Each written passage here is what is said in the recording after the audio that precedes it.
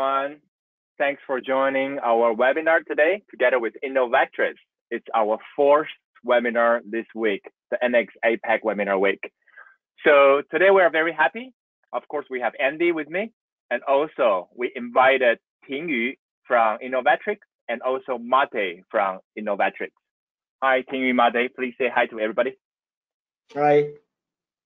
Hello, everybody. Good afternoon. And Mate is going to have a live demo session after the presentation. So his web webcam is occupied by NX.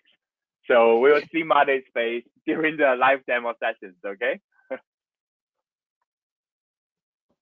yeah, so we see our visitors are still joining in. So let's wait another one or two minutes before we give the floor to Mate, all right? So uh, Ting Yu is based in Taiwan and Mate is based in Singapore, right? Yes, correct. And Andy and I, we are both in Taiwan. Yeah. So today we have attendees from various countries from Southeast Asia, Northeast Asia, and some partners are from South Asia, like India. So it's a it's a it's a very large group. It's very interesting. So uh, during the webinar, uh, we'll give uh, the, the Innovatrics team will give a presentation and live live demo session. And on the panel, you should see on your right or left hand side, there is a chat button or there is a question button. So please leave your questions during the presentation. And if the question is very related to the part Mate is introducing, uh, we might interrupt Mate to answer quickly or most likely we'll keep the questions to the end, the Q&A session, so that we can control the time much better, okay? All right, so Mate, I'll give the stage to you. You may share the screen and start the presentation for us. Thank you. Oh. Hi, everybody. Good afternoon from Singapore. And uh, thank you, Jason, and uh, thank you, Andy, for uh, having me here. Uh, we really appreciate this uh, this opportunity. Um, it's not our first time, hopefully not our last time with NX together on on your webinar. Um, let me introduce myself. my name is Mate Fish. I'm I represent Innovatrics in the APAC region. I'm based in Singapore, and today I would like to walk you through um, uh, the way how we work together with uh, Network Optix. So um, obviously network, net, Network Optix is, uh, is a VMS, uh, video management system um, uh, vendor, and Innovatrics is a face recognition uh, technology vendor uh, that uh, makes a very good fit um, between us. And the product we would like to introduce today, the Innovatrics product, is called Innovatrics Smart Face Platform, which is our um, video analytics and uh, face recognition platform. We call it a platform uh, because uh, it's not only one product for one particular purpose, but it's a platform which is very modular, very flexible with different plugins, different integrations. Obviously, one of the integrations which we would like to talk about today is our NX integration with uh, the Network Optix uh, with this video management system. Just a little bit of background on um. So uh, is a biometric software technology provider. So our background is not only um, CCTV or video analytics or not only face recognition, but biometrics as such.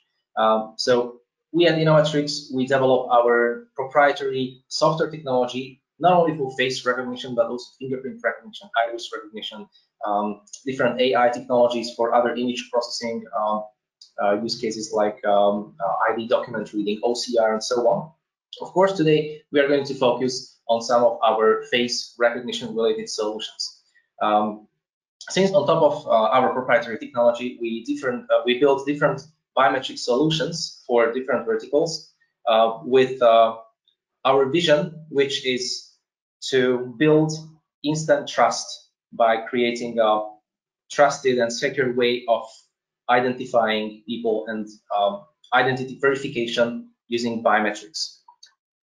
This journey of Innovatrics started um, 17 years ago. Um, here's the first mistake uh, in the slides. Uh, the company has been around for 17 years, uh, not 16 years. Uh, yes, this is obviously a one-year-old slide.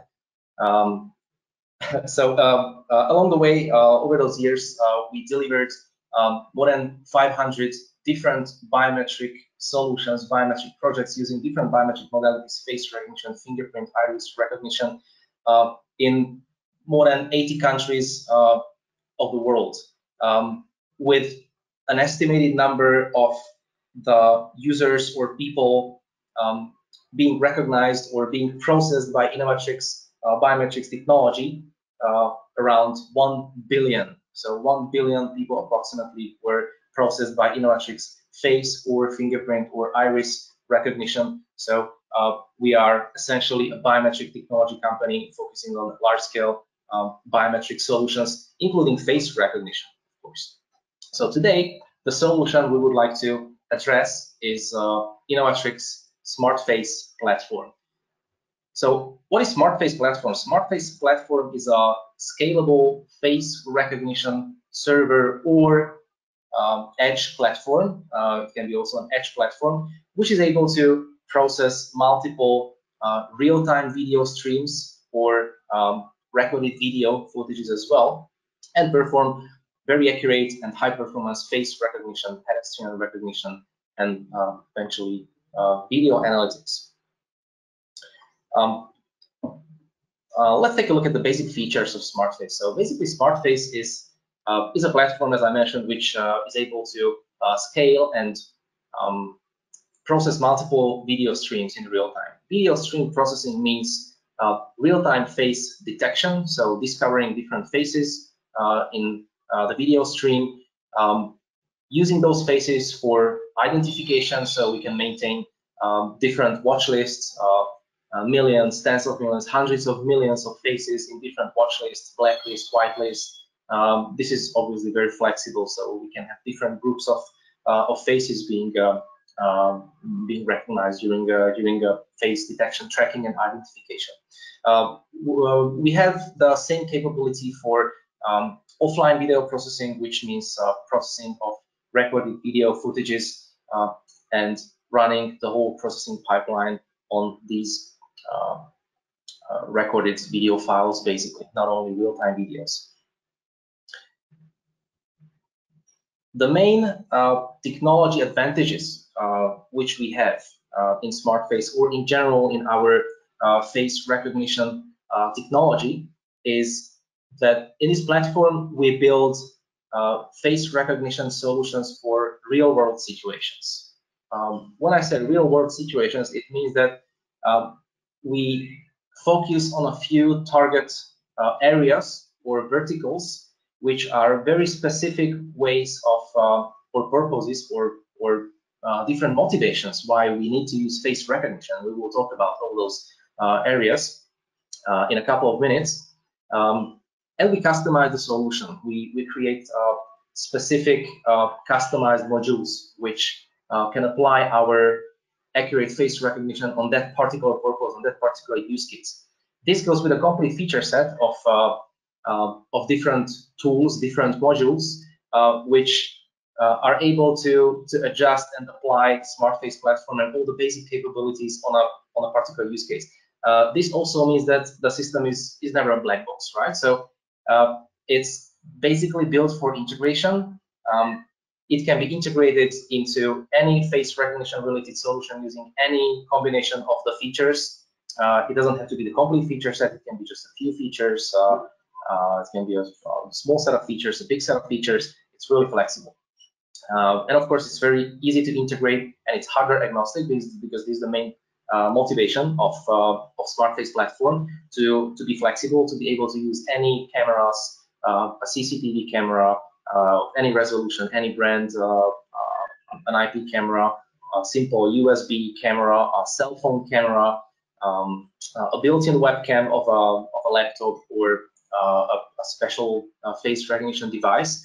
Um, so easy integration and to be hardware agnostic is, is, a, is a key factor for us while the core face recognition technology, uh, which SmartFace is built on the Innovatrics proprietary face technology, is continuously top ranked in the relevant NIST face recognition benchmarks. Um, NIST is the National Institute of Standards and Technology. Um, the, the biggest uh, uh, um, independent organization, the US organization, uh, which uh, is running all the relevant biometric benchmarks, not only for face recognition, but fingerprint, iris recognition, uh, different biometric modalities as well. Uh, in, in this face recognition benchmark, NIST has more than 300 um, different face recognition technology vendors. Um, among those, Innovatrics is continuously top ranked in terms of the accuracy and the speed of the face recognition. Now let's talk about those use cases. So which are those specific real world scenarios which we are focusing on? Um, first of all, um, physical security and access control. So using our SmartFace platform, which is a very generic platform, um, we can apply different plugins, different extensions or integrations to turn SmartFace platform into um, face access control solution, which means this platform running on a server or in an edge environment uh, is able to handle physical barriers. It's able to handle turnstiles, uh, speed gates, uh, an existing access control backend of a, uh, of a building. Uh, so we have our um, hardware level integration with uh, with TriContact, and so on. Plus, we have a software level integration. So if you want to use any kind of camera, it can be a CCTV camera, it can be a, a USB camera, it can be a built-in camera of a face recognition device which is sitting on a turnstile. Uh, we can use this camera with SmartFace to recognize faces in a real time in a very, very unique way. So the way how we implement our face recognition for access control is what we call uh, seamless access control or seamless walkthrough scenario. So basically the way how we implement uh, uh, access control is that um, unlike the, let's call it the traditional way of uh, access control, um, where we have to approach the turnstile, uh, there's a face recognition device sitting on the turnstile, we have to stop for a second or two, we have to look into this device, we have to wait another second or two while the face, recognition is done, and then the turnstile opens. So we do it in a, in a completely different way, which we call the seamless access control or the seamless walk, walk-through access control. So there's a camera sitting on a turnstile, which can be a standalone IP camera. It can be a, a high resolution camera, low resolution camera. It's, it's really agnostic. It can be a built-in camera in the device. It can be a camera and an additional feedback screen. It can be a, a device with an embedded camera and a feedback screen. It's really, really flexible. And the way how we implement uh, this use case is that SmartFace uh, using the same face recognition engine, which is used uh, for CCTV, for example, which is much more challenging use case in, in terms of face recognition, is recognizing, detecting, tracking, and identifying multiple faces in, the, in a real time. Which means in such a scenario, if this is a turnstile, there's a camera sitting on a turnstile, the camera and smart SmartFace can see these three people. And at this moment, we already know person one can enter, person two cannot enter, person three can enter. So these decisions are already done. We are not, we don't start recognizing faces and uh, running the face recognition when the person is already standing in front of the turnstile and waiting and looking into the camera. We start this evaluation while people are, are at a distance, walking towards the turnstile. When a person is uh, three, four, five meters from the turnstile, we already know, okay, this is Andy, this is Jason, this is Cindy, this guy can enter, this guy cannot enter. We also analyze the movement, so we can see uh, people walking towards the turnstile. We can also analyze that this person is not walking towards the turnstile. This person is just uh, just just hanging, just talking to friends, just talking to colleagues, or uh, uh but they're not intentionally trying to cross this turnstile. Uh, so all these decisions are done in advance, and when particular person gets close enough to the turnstile, which means close enough to the camera, we just trigger an action. Close the door, uh, open the door. Uh, we can also evaluate the distance from the camera of each particular person, uh, the relative position of those people. So we know person one and two, they are close to each other. Maybe person two is trying to tailgate. Person two and person three is uh, uh, they, they are far from each other. So uh, all these environment specific factors are being evaluated in real time and what we can achieve is a completely seamless walkthrough scenario. So if I'm allowed to cross this gate, I can just keep walking. I don't have to look into the camera. I don't have to stop. When I get close to the turnstile, without slowing down, the turnstile opens automatically and I can cross it in a seamless way. The second important use case um, uh, of course, a very traditional use case uh, that we are focusing on is video investigation. So this is uh, this is a post-event video investigation use case when uh, we have a bunch of CCTV cameras connected to uh, NX Witness uh, VMS with a recording feature which is switched on, but there's no real-time face recognition. So whatever incident happens, uh, and that incident is uh, is captured by one of or some of the CCTV cameras, and we have a recorded video footage, and we want to run a face recognition or pedestrian recognition analysis, we can just take those videos and we can just submit those to SmartFace using, again, a special integration, a special user interface, a special plugin, which is built for this particular use case. We use a, a unique feature called uh, rapid video processing, which means of course, depending on the hardware resources which we have available, we can process um, video footages up to 25 times faster than the actual duration of the video.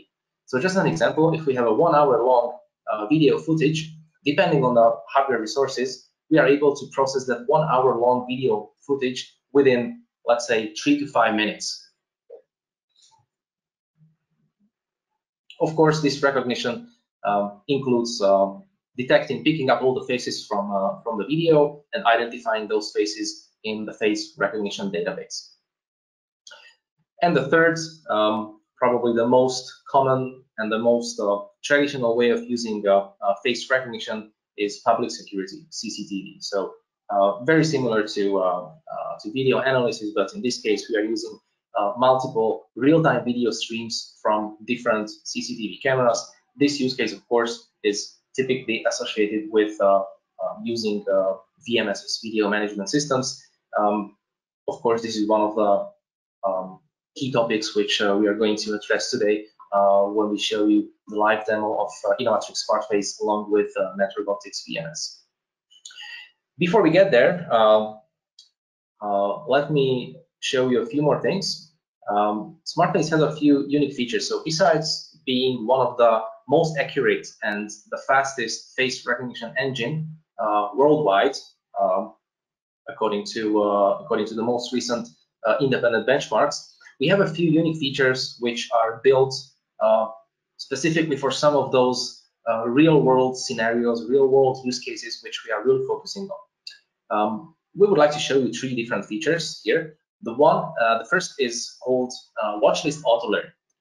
Watchlist Auto Learn is a feature which enables us, enables SmartFace to keep learning how a particular person changes their, their appearance. Right? So uh, this feature is very, very useful and very powerful in use cases like uh, um, access control, time and attendance, um, uh, surveillance of, uh, of an office building, or any kind of use case where the same group of people keep showing up in front of the same cameras on a regular basis, right? So in an office building, if we have CCTV cameras, if we have uh, face recognition for access control, face recognition for time attendance, the same group of tenants or employees of that office building, which can be tens of thousands of people. Let's let's talk about a huge campus, right? So multiple different huge office buildings, easily uh, 20,000, 30,000, 50,000 people, doesn't matter.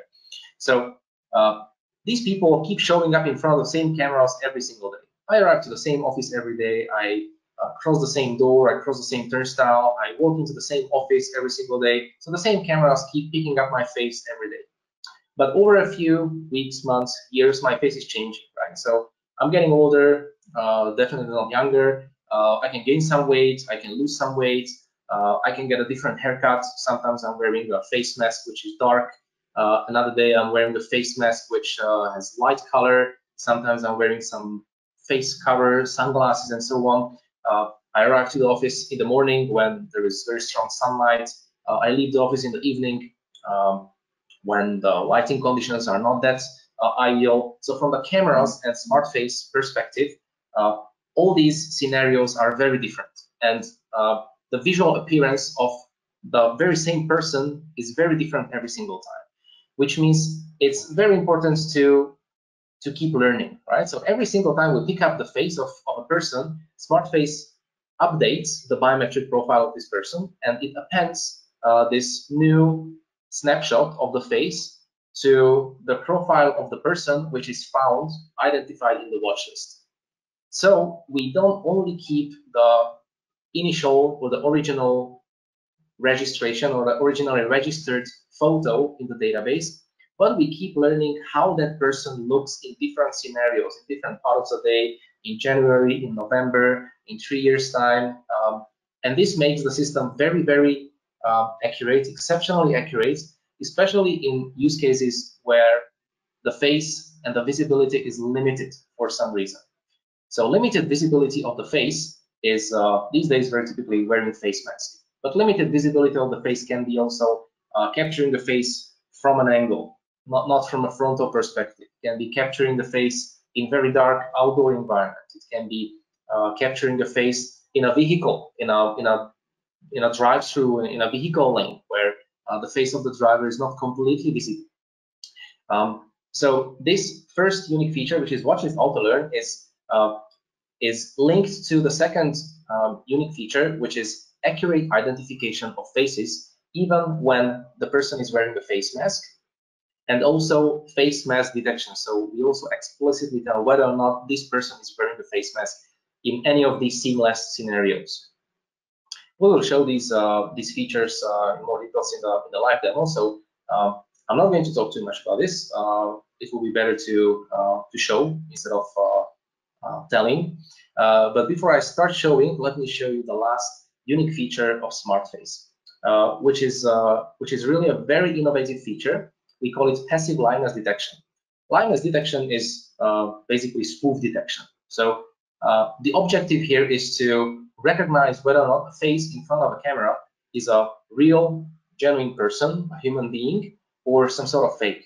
Some sort of fake means it can be a printed photo of somebody, or it can be a PC screen, it can be a large tablet screen uh, with a video of somebody, but not the real person. Right? It can be a it can be a 2D mask, it can be a 3D mask, basically anything that is not a real person.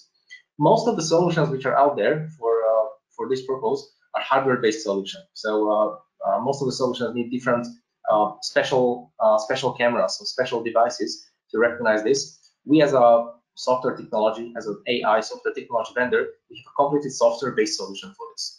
So in the same seamless scenarios, which is access control, seamless walkthrough without looking into the camera, without stopping, CCTV, uh, time and attendance, basically any of those scenarios, uh, uh, we are able to apply this passive liveness detection, um, which is able to recognize whether or not the person is a real person or some sort of fake.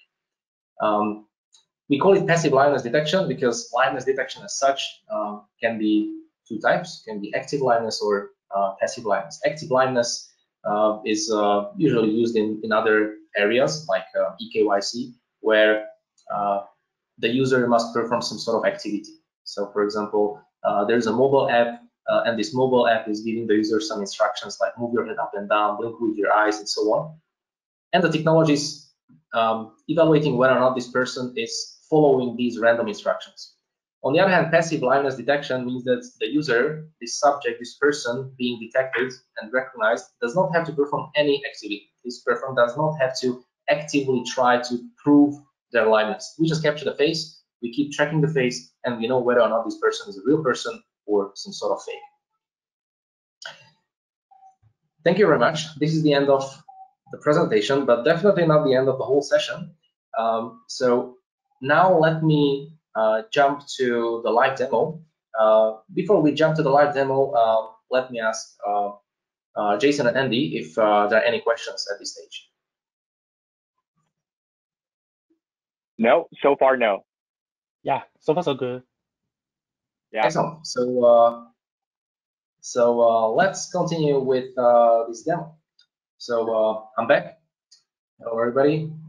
Uh, that's that's why I cannot use my webcam because it's used in NX Witness, uh, which I think is more important now. So what we can see here is the NX Witness video management system, along with the SmartFace integration. So um, now I'm using a, a uh, very common um, uh, average laptop. Uh, it's not an average laptop; is a is a gaming laptop. Uh, which I'm using here. So here offline on this uh, laptop, I'm running uh, NX uh, Witness, this NX server, NX client, and SmartFace as the real-time face recognition engine. So what we have here um, within NX Witness is uh, our SmartFace plugin. So I was talking about those real-world scenarios, um, which we are focusing on, and we we develop different add-ons, different plugins, different modules of SmartFace, which are focusing on those scenarios and applying the SmartFace capabilities on those scenarios. Uh, the SmartFace Analytics plugin is uh, the module which is designed for uh, real-time CCTV surveillance and physical security. So the SmartFace Analytics plugin is essentially an integration between SmartFace platform and NX Witness. So we can uh, analyze the real-time video streams coming from NX Witness, uh, run face, face detection, pedestrian detection, uh, face identification tracking, and push all these metadata back to uh, NX Witness in real time. Here in this Smart Face Analytics plugin, we have a very simple configuration of how to connect uh, this platform to NX Witness, which um, metadata we want to push into NX Witness, which analytics events we want to push into NX Witness. And once the configuration is done, we have this very smooth uh, real-time metadata level integration between SmartFace and NX Witness. And we also have uh, the option to create different analytics events. So um, here, if I choose analytics events, I choose uh, this camera, which is uh, my, my built-in webcam, but it could be an IP camera, it can be a, a wireless camera. I could I could use my cell phone to uh, send an RTSP streaming to NX uh, Witness and then to SmartFace. It doesn't matter. I can choose multiple cameras. And over those cameras, I can choose some SmartFace events. So right now, we are only sending two events when a person is identified or when a person is not identified. So choosing one of those SmartFace analytics events, I can trigger different actions. I can create a bookmark. I can start recording. I can uh, send an alarm. So basically, uh, these are the these are the NX features here. So whatever is available in NX as uh, an action, which is triggered by some analytics events, that can be used along with the smart face events coming from the platform uh, in real time. Okay, so uh, let's take a look at the basic um, face recognition features of, of uh, smart face. Uh, now I'm using only one camera. This is my built-in webcam here. Um, from a technical perspective, the way how it works is that the real-time stream goes NX Witness first, because uh, the VMS is uh, considered uh, the, the, main system here. We're talking about uh, uh, CCTV and surveillance, obviously. And NX Witness is sending the frames of this real-time stream into SmartFace. SmartFace is running the analysis and sending back all these meta information. So you can see all the meta information which are uh, displayed here in the real time, which is first of all age and gender. This is an estimated age and uh, detected gender using uh, face recognition technology. Um, um, is more or less, um, let's say it's very accurate uh, without uh, revealing my real age. Let's say it's very accurate. Um, so yeah, it's, it's showing something around uh, 33, 4, 5, let's say. Uh, there is gender detection as well. Of course, these features are um, very typical in uh, retail analytics use cases, right? When when we don't have um, when we don't have uh, a watch list, we don't have a blacklist, whitelist, we don't have a list of employees, uh, but we want uh, we want to run some, some analytics, right? So uh, for uh, for retail, let's say. so that's why where age and gender detection is a is a common feature. Um, next, uh, face mask status. Now it says no mask. If I use my face mask, I put my face mask on. In a real time, within a uh, less than a second, uh, it changes the status to mask present. If I pull my mask off a bit, it says no mask. So this is the mask status, and of course, uh, with or without mask, uh, it shows the identification result. So it, uh, it shows name James Bond, which is um, obviously not my real name. Uh, this is the name I used uh, in uh, SmartFace when I uh, registered my face. So uh, it means that the face recognition and identification result is correct. Uh, the name is fake. again, if I put my mask on, um, the face detection tracking still works very accurately. It's very smooth. and still the identification result is done. Now it shows my real name, Mate. Um, the, the power of SmartFace, as I mentioned, is uh, not only detecting uh, and identifying one face uh, in, a, in, a, frontal perspective, this is very simple, but the power comes with uh, recognizing accurate, accurate recognition of faces in challenging environments. So now let's talk about environments where I'm wearing a face mask and my face is being detected and captured from an angle. So it's not a frontal image, uh, it's an image from the side or from the bottom, from the top. I'm not looking into the camera. Uh, these are the challenging use cases where the visibility is very limited, but yet the face is identified accurately. There are some other use cases. Uh, wearing a face mask and sunglasses, or wearing a face mask and some other cover on the face. I'm not I'm going to cover uh, the camera now just to uh, just to uh, end the, the face tracking. And now I'm showing my face with face mask and some head cover, right? So even in this case, when let's say uh, it's it's only or only just let's say 30 40 percent of the face is visible, still the face is detected, tracked, and identified. Some other cases, um, only one side of the face is visible. Again, I'm going to end the face tracking, so it has to start uh, the whole detection again. And I'm and I'm only going to show just a very small part of my face. Let's say one, I don't know how, how much is maybe maybe 20, 25% of my face. The whole bottom part and the right side of my of the top part of my face is uh, covered. But even in this environment, and also there is a shadow, uh, the visibility is very very low, but still the face is detected, tracked, and identified. So uh, also I'm identified as one of my profiles in SmartFace, which is either Mate or uh, James Bond. I have two different profiles. Um, it doesn't really have a point, but yeah, I just have two different profiles. But every time uh, one of my profiles, so the, the right person is, uh, is identified, even if the visibility is very, very low, like, like for example, in this case here. So um, this is uh, SmartFace features um, in uh, the first uh, very typical use case, which is uh, CCTV surveillance. Of course, we are talking about face recognition with multiple different faces uh, in one frame. There is no there's no limitation actually. There is no like like we can we can detect and process up to five faces, ten faces, 30 faces. There is no such limitation. Limitation is only given given by the hardware, right? So of course, if there are 100 faces in one frame, that will take a bit longer uh, to uh, to detect all the faces and to identify all the faces. But there is no technical limitation uh, in this. Uh, basically, this is this is a requirement or performance input for us. So uh, instead of uh, we telling our customer uh, this is the maximum number of faces you can detect, we ask the customer how many faces do you want to detect? You want to detect this, this many faces in one frame? Okay, here we go. This is the hardware sizing. This is the hardware specification you have to use, and SmartFace will be able to detect this number of faces within one frame in real time. So uh, this is the usage in a, a traditional uh, CCTV uh, surveillance slash uh, physical security use case. Um, now let's move from uh, this uh, real-time use case to another real-time use case, which, as I mentioned, is access control.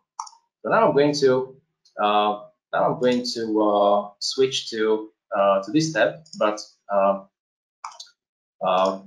my bad. Before I switch to access control use case, I also would like to uh, show you another um, another dashboard, another interface, which which is a built-in interface in SmartFace. So basically here in this view, uh, we were using the, uh, the real-time stream from the camera in, VM, in, in the VMS, in Network Optix uh, uh. In this dashboard, we are using a built-in user interface of SmartFace. This built-in user interface is a, is a web-based user interface. Basically, um, I, I, open the web page here. Uh, it's a web-based user interface, which uh, uh, is not supposed to replace the VMS, of course, because uh, in this web-based user interface, we are not displaying uh, hundreds of different of uh, hundreds of video streams, hundreds of cameras. We only display two. You can choose which two cameras you want to display on the right side and on the left side. This is not to replace the, the VMS. This is just to check the stream, to check some of the notifications which are coming directly from SmartFace uh, without uh, going into NX Witness and checking the notifications in NX, NX Witness. Of course, it's a different kind of interpretation. So here in this interface, we can see the raw notifications uh, coming coming directly from SmartFace. Uh, I'm using two videos here. The one on the left side is obviously my live webcam, and on the one on the right side is a recorded video, which uh, we just keep uh, uh, playing uh, over and over and again. Um, here in this notification bar, we can see two types of notifications. One is a single face. A single face in these notifications mean, means um, a face was detected, but it was not found in any of the watch lists. So basically, it's a stranger, it's an unidentified person. Two faces in one notification means a face was detected in some of those video streams, for example, this guy here, and a matching candidate, a match in the one of the watch lists was found in that video. So we have these two types of uh, notifications here. Um, currently, we are adding more features and more notifications here with pedestrians. Uh, uh, later, uh, very soon, we are going to add vehicles, uh, other objects, and so on. Um, also, this user interface serve for, serves for managing uh, the system. So here is a very simple, um, user-friendly interface to manage watch lists. So here is a demo watch list where uh, we have all these uh, few profiles. And here is one of my profiles. So uh, this is the profile called Mate. As I mentioned, I have two. I have another profile as James Bond, and I have this original profile called Mate. So Uh, what I would like to show you here is uh, the first feature we talked about, which is watchlist auto learn. So you can see this uh, profile was created initially by this single photo. So this photo was captured by my cell phone. We have a Android and iOS application also with uh, edge face recognition on the device, which can capture a selfie, and this selfie is sent directly into SmartFace to register to a watch list. So that's how I registered this photo here and created this profile with my with my real name. But there are many, many other photos here. You can see these photos are not uh, taken um, uh, on purpose with a, with a cell phone, for example. These photos are taken by different cameras, CCTV cameras, my, my webcam, during the normal usage of SmartFace. So this is how uh, watchlist AutoLearn works. You can see the A, uh, this A flag at each uh, photo, which uh, is for AutoLearn. So every time I showed up in front of some of the cameras connected to this laptop and SmartFace, SmartFace recognized, okay, this person now in front of the camera is Mate. I found this profile in the watch list. And this is a good photo, which we just captured. It's a good quality. So I'm going to extend, I'm going to append this photo to this biometric profile. So we are getting, SmartFace is getting smarter. SmartFace is, is getting, um, is, uh, SmartFace now knows my face much better, not only from one perspective, but from many different perspectives, from many different angles, with face mask, without face mask, looking into the camera, not looking into the camera, different lighting conditions, and so on. That's how it becomes very, very accurate because it keeps learning how my face looks in different environments. Uh, we also have a very simple system configuration here, of course. So uh, we can we can configure these cameras, uh, some basic configuration of the face recognition. Uh, we have CPU, both CPU and GPU mode. So uh, it's important. Uh, I think we can we can mention that SmartFace is not um, uh, is not dependent on GPU. Of course, using GPU, it always gives you some, some additional boost in terms of uh, speed and latency, but we don't need GPU. We can run on a completely GPU-less environment uh, in a CPU-only mode, uh, even on a simple laptop or server without GPU. It doesn't have to be a high-end uh, uh, face recognition or image processing machine. It can be a simple CPU-only machine or it can be an embedded device as well. We also have edge processing. Um, now I'm going to switch uh, this second uh, camera, this, uh, this video off, um, because now I'm going to move to uh, the access control scenario. So now um, switching topic from CCTV to access control, let's imagine that this camera now here, this is not a CCTV camera. This is not a security camera. But this is a camera sitting on a turnstile, right? So if you if you remember this scenario here, now we are going to simulate this scenario. And now we're going to imagine that this webcam which I'm using, is this camera sitting on a turnstile. It can be a camera standalone on a turnstile, or it can be a camera and a standalone uh, screen, a tablet sitting on a turnstile as a feedback screen to the user, or it can be a, a, a, an embedded device with an embedded camera and an embedded screen, or it can be completely without a screen, doesn't matter. Let's just imagine this camera here is uh, sitting on a turnstile and we use it for access control. So this camera goes into NX Witness, NX Witness goes to Innovatrics SmartFace, Innovatrics SmartFace does its job, and SmartFace is also integrated with this physical access control system with the turnstile attention. So what happens here? We want to use this uh, seamless access control system for people which are approaching this turnstile.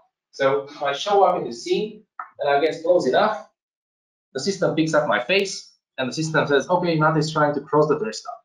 But we have some conditions here, which we apply on access control. Condition number one, this person must be a registered person who is allowed to enter this building, allowed to cross the turnstile. Number two, this person must be wearing a face mask. And number three, this person must be a real, genuine human being. It cannot be a fake. I cannot just hold a photo of somebody uh, who's allowed to enter, so I can I can enter this facility without without be, being allowed to. Right? Um, so here we can see the, the camera. Basically, we can see what the turnstile camera can see. And this interface here, this is a special user interface for security personnel, uh, which uh, which is monitoring the, the access to the building. Right? So what we can see here now is a bunch of notifications saying no mask. So somebody keeps trying, somebody standing in front of this turnstile keeps trying to enter this building without wearing a face mask. So obviously the, the turnstile doesn't open and there's this notification popping up uh, on the security dashboard the security personnel saying, hey, somebody somebody keeps trying to enter this building over and over again without a face mask. So of course we reject this entry. What if um, I try to use uh, a photo now uh, or somebody else with a face mask who is not registered. So now again I'm going to use my cell phone uh, with uh, this lady who is not registered. So this lady now tries to enter, but what happens? There is another notification saying unidentified person. This person is not identified, although this person is wearing a face mask, but this person is not identified. It's a stranger. Again, we don't allow this person uh, to enter. So, okay, now um, I'm a bit smarter. Uh, now I try to spoof the system with a photo of somebody who is registered and also a photo where a registered person is wearing a face mask. So let's see what happens if I try to enter this this uh, this building. If I show such a photo, uh, this this turnstile camera. So what happens is that I show this photo, and the response of the system once it picks up should be okay it's it's gone just a second. Yeah spoof right? So now this person is this person is identified. We know this person right? We know this person this person can theoretically could enter. I'm going to put my mask on so it so it stops uh stops popping up. So this person could enter. This person is also wearing the face mask but this is not the real person. This is a this is a spoof, right? This is uh, this is some sort of uh, fake. So what I have to do, I have to wear my face mask. I have to be a person who is registered and allowed to enter, and I have to be the real person. I cannot be uh, just uh, just a, just a picture of this person, right? So this is what the security guard can see here in this interface, and what I can see as the user when I approach this turnstile. Again, if you remember, so this is the person who is approaching the turnstile. This is the camera. And here's a feedback screen, which again can be any Android tablet. It can be a it can be just a just a screen connected to, to a backend machine. Again, it's completely hardware agnostic. But what I can see when I approach this turnstile is this. So now I approach the turnstile, and on the screen, what I can see is welcome Mate. I keep approaching the turnstile, this is what I can see. Right? Now, if my face is not there, there is no face in front of the turnstile, we just show a logo, which is customizable or whatever. Now I try to enter, my face is there, welcome Mate, the turnstile opens. now I try to enter this building with my mask off. It says, hey, James Bond, please put your mask on. Okay, my mask is on. You're good. Hey, welcome. Up. If I try to use this spoof, right? So now I'm going to use my photo again, although it's with face mask and a person which is registered, but it says passage not allowed because this is a fake. If it's my real face with a face mask, of course I'm good. If it's my real face but without a face mask, I'm not good. So that's how accurate, how fast the system is. It's not only a seamless face recognition while the person is walking, uh, it's a seamless, accurate face recognition while the person is walking, including face mask detection, accurate identification of the face while the mask is on, or there's other face cover, uh, partial face is only visible, and so on. It's still accurate because it keeps learning how that person looks from different angles, different portions of the face. And there's also seamless, very accurate spoof detection. So if that face which is registered and wearing a mask, it's not a real face, but some sort of spoof, that is also detected immediately and the corresponding action is triggered. This is it in a nutshell. Uh, thank you very much. Uh, Jason and Andy, over to you. And uh, I'll be happy to answer any questions. Thank you. Thanks a lot, Mate. The live demo session is really cool and works really fast. Thank you. Even Yeah, this is the second time I, I, I watch I watch this demo. I still feel amazing. Yeah, it's so fast. Like when you like like change different photos or, or wear a mask without a mask. Yeah, and all the the browser application that's building the NX Witness client interface. Yeah, that's really nice. Yeah. So we have a first question. It's a really good question actually. Uh, how do we get a demo? Yeah, very good question. Um, yeah. let me switch back to uh, the slide with uh, the answer to this question. Um, so here's the answer. Um, please feel free to uh, reach out to us, uh, to my colleague Tingyu, who is based in Taiwan, or uh, to myself, um, or even to our friends uh, at Network Optix, to Jason and, and Andy. We can have a quick chat, and we are definitely happy to support uh, demos and evaluation um, activities. Fantastic. Yeah. So guys, please take a snapshot of this screen. You will have our contact information here. So you are always more than welcome to, to ask for a demo license. Okay. Thanks, Mate. And there's another question come, comes in. So is your system support while search function? I'm, I- I'm not I sure if I correctly. Is it is it wild search? Yeah, wild. Uh, I I assume. Uh, can you please correct me if I'm wrong? Okay, so I assume is that uh we we import a face without without name in a database. So we just use a, a photo to search uh to search uh the database.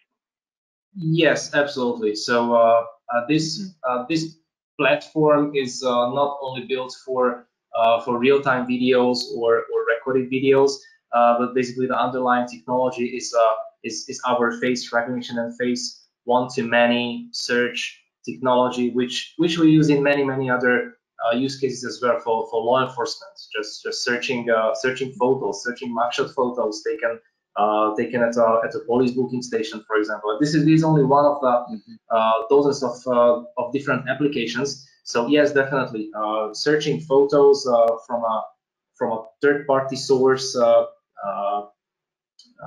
captured by mobile devices uh, from the internet, uh, wild faces, uh, which means uh, non-collaborative uh, users not looking into the camera, covering their face. Yes, of course, absolutely, it's, it's possible. Got it. So Yeah, I, I I- guess it's one of Mhm. yeah Andy Uh, after yeah. you. Sorry, uh, Mate, can you turn to the uh, video investigation page in your uh, presentation file? Of course. Yeah, this one, I remember that you said that um, you can import a video into your system and then to do the uh, face recognition to, to search in the database, right, for all the faces. correct? Correct. Uh, so for this one, we we we, we also can do a, a, a photo. To, I mean, to to input a, a photo to search in the database. Mm. That's that's even easier. So yes, of course. So uh, searching a video uh, or searching a, a, static photo is just a subset of the whole processing um, uh, or all the steps which we have to do when we process a video. So basically, video search is that we split the video into frames, uh, we analyze those frames. Eventually, in those frames, we find some faces, we crop those mm. faces. Eventually, in the database, we search those static cropped face photos. So if we already have the static photo of the face, we can just start at this uh, step and we just search the, uh, the, the static photo of the cropped face. Okay. Okay. Cool. Got it. Thanks. Clear. Clear. So I have a question actually. It's about the auto learn. I really like the feature because like like every week I go to my my iPhone photo gallery or my Google picture gallery and they will ask me if this is you or if this is your mother, then I can start to you know correcting those auto learn features. So I think that function building the Innovatrics platform is really cool. So my, my question is, is it necessary for the user to like if we notice that the auto learn picked the wrong picture in the list, do I have to manually delete it? Or in time, the, the system will just learn and notice that, oh, that one was a wrong pick, and then we'll remove that automatically. It's a it's a very good example to uh, to use your your iPhone or uh, uh, on my Android phone the Google Photos which uh, which mm -hmm. do the same right so yes it groups mm -hmm. it groups those people which you uh, uh, which uh, you, you take photos of frequently. So uh, yourself, your family members, close friends, and groups also. So this is this is Andy, this is Jason, this is is right? And yes, from time to time, mm-hmm. it asks you the question: Is this the same guy? Or, or you just open all the photos of uh, Tingyu, right? And it, it, it asks you the question: Is this the same guy or is it a different guy? And you just say yes or no. Mm. So uh, yes, this is this is very common in uh, in each face recognition technology. So according to the state of the art, none of the face recognition technologies uh, is 100% accurate. When it comes to biometrics, mm -hmm. face matching, fingerprint matching, any kind of uh, biometric uh, biometric matching, it's always about probability. So internally, the system never says yes or no, same person or not the same person, but internally mm -hmm. the system comes up with a probability. This is 80, 89%, 99%, 99.9% sure it is the same person there's only 90% sure that it's the same person, and basically we set up a threshold. Uh, above the threshold, we say yes, this is the same person. Below the threshold, we say no, it's not the same person. But there is always a gray area in every single recognition system in the world. There's a gray area mm -hmm. where the system is not sure whether that person is the same or that person is somebody completely different. So yes, of course, eventually, mm -hmm. especially when you handle a lot of data, a lot of transactions, a lot of uh, uh, watchlist members in the database, from time to time, yes, of course, it will happen in every single face recognition system that uh, the face matching will end up in this gray area. And uh, in that case, yes, the, the best thing to do is to ask the user, is this person the same? Mm -hmm. Mm -hmm. Got it, got it. Yeah, it's really powerful functions. Like for for myself, I, I the, the the Google album can start to recognize my my picture like 15 years ago, and some other interesting things like my nephew he, he, was in my photo album like one years old and now he's seven years old so he looks very different but in time with the auto learn functions you know the, the algorithm can still identify identify him when he was just one years old yeah. Exactly this is this is the whole objective so uh, if i if i register the system now and then i still use the same system in in 10 years then the system doesn't have to uh, compare photos with 10 years difference. There is no 10 years difference mm -hmm. because it keeps collecting my, my biometric data uh, down the road over those 10 years. So it always keeps learning how my face is changing. Got it. That's really cool. Yeah. So the other question is like, uh, yeah. So can we do integration with different brands of access control system? And what should be prepared for those kind of integration? Uh, the answer is yes. In in every probably practically in, in, in every case, the answer is is definitely yes. So SmartFace is uh, primarily built for integration, which means SmartFace goes with a complete open API, has many different uh, uh, API, many different interfaces. It has a, a, a very robust, very complete REST API.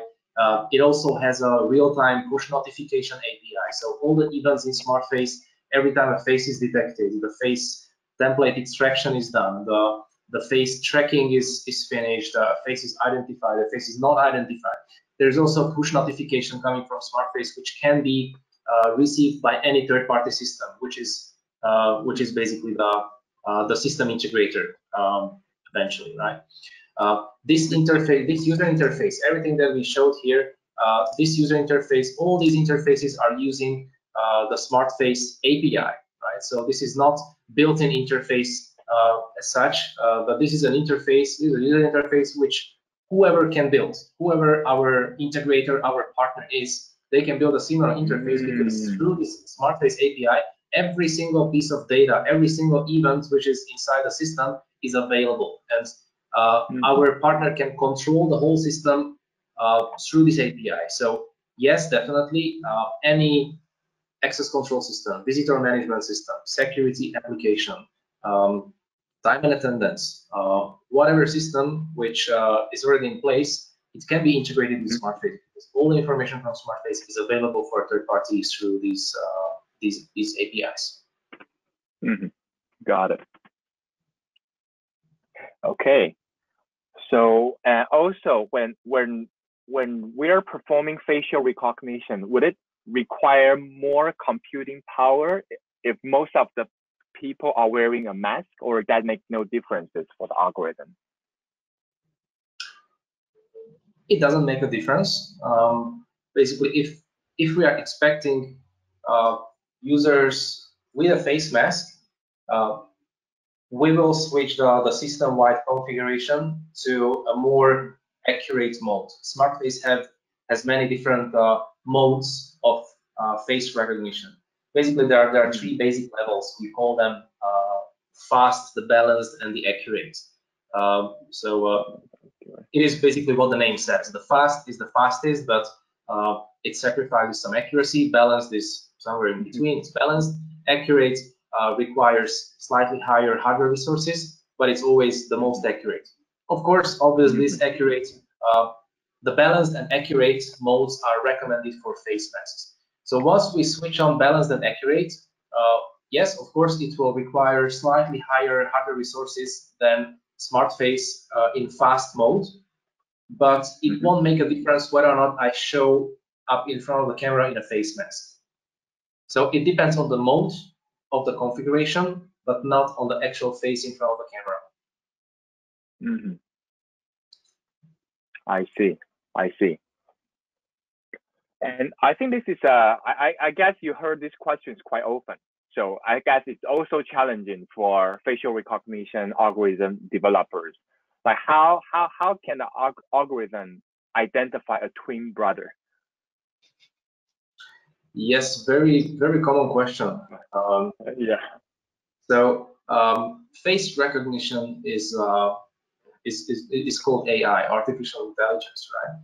Uh, it's called artificial intelligence because uh, because these AI technologies are really trying to copy the way how the human brain and the human human eyes work, right?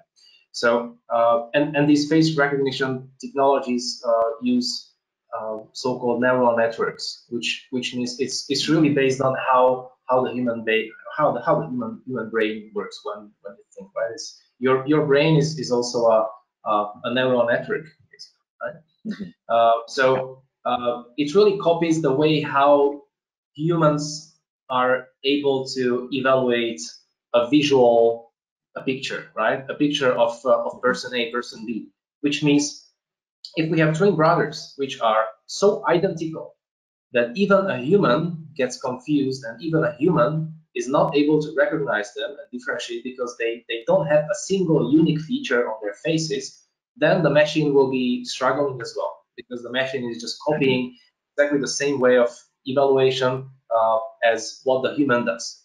the, the only advantage that the computer does it faster, but it's it's not really smarter. In fact, it's just it's just much Mhm. faster. Uh, so uh, yeah, if, if there are some unique features which human can recognize, then the machine will be able to recognize as well. If there are no unique features and they are so identical that even a human gets confused, then the machine gets confused as well. Mm-hmm, mm-hmm. Got it, got it. However, for fingerprints, then that will be identical, right? Uh, fingerprints are unique even for twins.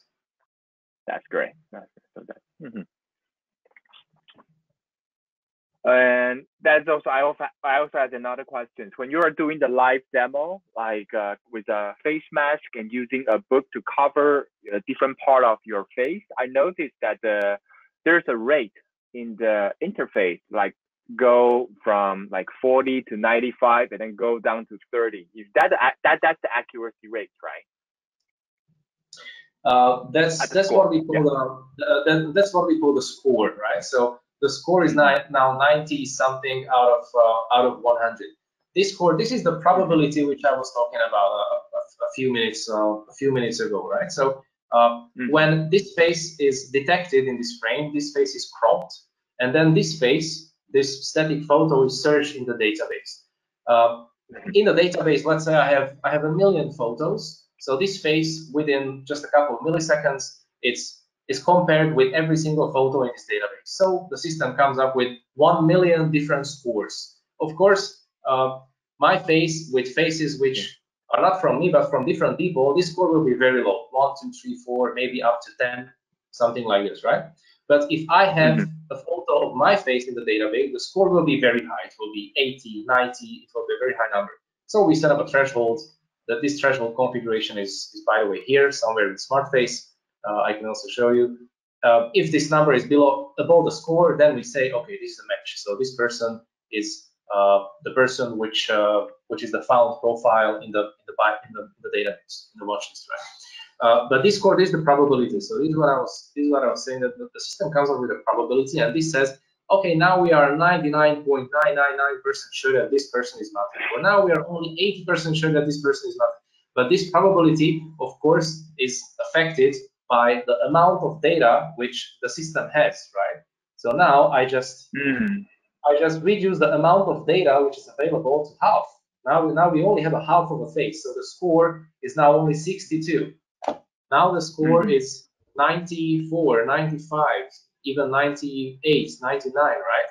But if I really reduce the data, the biometric data which is available for the system, then of course the probability also decreases. Now, now it's already 30 something. See, because I'm covering more than the 27. half of Hmm.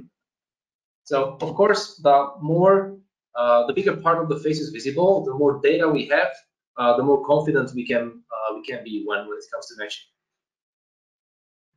Mm-hmm, mm-hmm. Clear. Um, and uh, there is a, Yeah. there is a question from my shy friend. he say um, in his country there are uh, some Muslim friends, right? So they wear they always wearing the hijab, right, to, to cover the face, and uh, we also can do the face recognition for them. So uh, yeah, this is uh, this is very very related to the previous few questions. Actually, it's it, it's it's very similar, right? So uh, we are talking about this use case when uh, a, a quite quite a quite a big portion of the face is uh, is covered. It's not visible. So obviously, uh, obviously this rate, this confidence will will be lower. It's the same for a human. Uh, a human is human is also not not 100% sure because because because of su- such a big Mhm. portion of the face covered that we, we, we cannot be always 100% sure that this is this is really the person that we think they are. Uh, Yeah.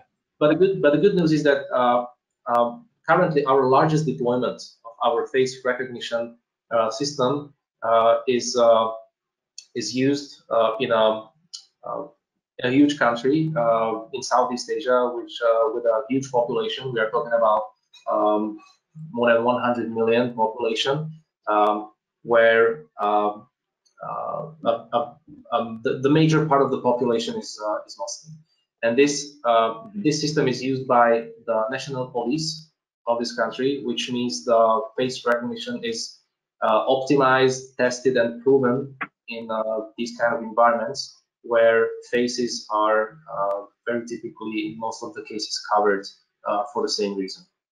Yep. Mm -hmm. Okay. Thanks. Is there any other questions to Mate or Tingyu? Oh, there's one more. Hold on. Oh, there's store. So the question is about how about the data storage capacity limitation on the server? Will you like save the snapshots or you just save uh, an encrypted line of code or would it would the database capacity increase significantly? Like every day we capture so many friends, make so many ident identifications. Yeah. So uh, the the only data that we need um, to, to do face recognition and the matching is this uh, uh, encrypted code, uh, which, which you mentioned, uh, which is called the face template. So uh, in biometrics, we, we call it the biometric template, which is basically always uh, a sample, which is in, in this case, a face image, but in case of fingerprints, a fingerprint image, in case of iris, an iris image. But this image is never used directly for the actual matching the search. First, we take this image and we convert it into a biometric template. Uh, and this, this biometric template is a, is a very small piece of uh, proprietary information which contains the mm-hmm. extracted biometric features of that particular modality. Right? This is the mm-hmm. only piece of data that we need for matching. So uh, we can configure the system to uh, not to store any images. So we don't have to store, we can just switch in the configuration, we can just switch off uh, uh, keeping the, the whole frames. Uh, we can switch off keeping the, the cropped face images. Uh, we can configure the system not to store any image data. We only have to store the face template data because that's what we need for the matching.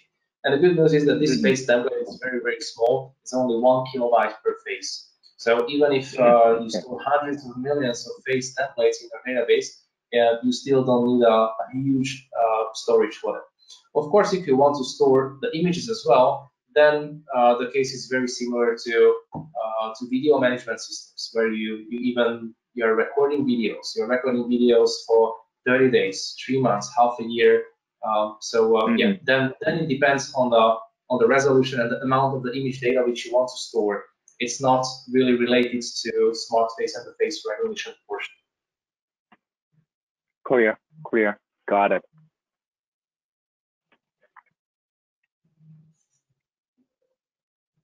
Okay, so if there's no more questions, I will call it a day today. Yeah, so Mate, again, thanks a lot for your great presentation and, and live demo. And Tingyu, thank, thank you. you so much for joining us today. Yeah. So everyone, thank you. thank you for join for joining us. If you have any questions, and we really encourage you to contact uh, Tingyu and Mate to test the software in your office. Yeah, facial recognition always require testing. So yeah, we really encourage you to, to try that. Yeah. Okay. Okay. Thank you, everyone. Sure. So thank you again for thank joining you. us. Thank you. Jason Andy. Bye bye. Thank you, Mate. Thank you, Tingyu. Everybody, bye. take care. Thank you. Bye bye. Bye bye.